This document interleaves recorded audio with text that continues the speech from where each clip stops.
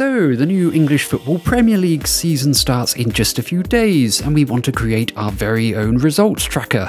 We found a website that contains all the fixtures, and we want to bring this table into Excel. We could download it as a file by choosing the Download as XLSX option, however, this would be static, therefore, the results wouldn't update as the season progresses.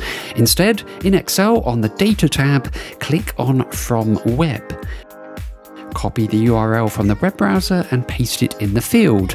Click OK, and a window will open listing all the available tables. Table 0 contains what we want.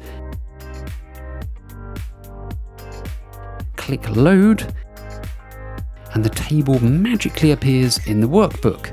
And just to prove this is a dynamically updating query, I'm going to delete all but the last five rows and then on the Query Contextual tab, click Refresh, and the whole table is retrieved from the website again.